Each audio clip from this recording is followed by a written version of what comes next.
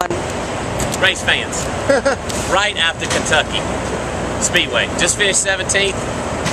Gosh almighty, it's raining. Better load up in the rain, Jeremy. I about got struck by lightning over there. Look, that's not sweat, that's rain. Rain. I'm soaking wet. Huh.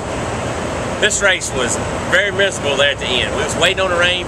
You know, hey, but here, here we go. We get ready to head to Daytona will be our next race with the new COT car. Yes, I said COT race fans. That's not what it's supposed to be. It's supposed to be the new car.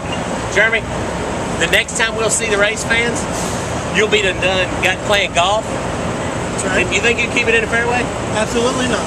No? No. Everybody? Bad hook. Nobody gets to see Tommy. He's still wet. We, we'll keep it. Billy made his first appearance, everybody.